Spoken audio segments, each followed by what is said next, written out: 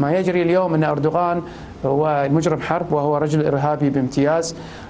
دول الخليج مدعوة على أن تتوحد في موقفها طبعا تجاه أردوغان، قطر ليست محسوبة علينا، قطر دولة شاذة وخرجت من منظومة الدول العربية من ساعة ما يعني دخلت في في يعني في جحر تنظيم الأخوان المسلمين وفي جحر تنظيم دعم التنظيمات الإرهابية ودعم الجماعات المتطرفة، نحن نتحدث اليوم عن دور خليجي عربي مسؤول بوقف تصدير السياحة العربية والخليجية على وجه التحديد إلى تركيا.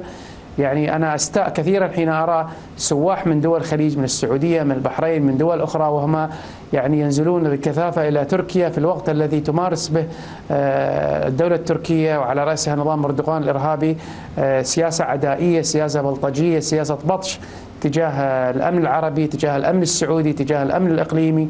نحن بحاجة إلى موقف عربي موحد وحازم وسريع يتعدى موضوع تشكيل لجان. نعم.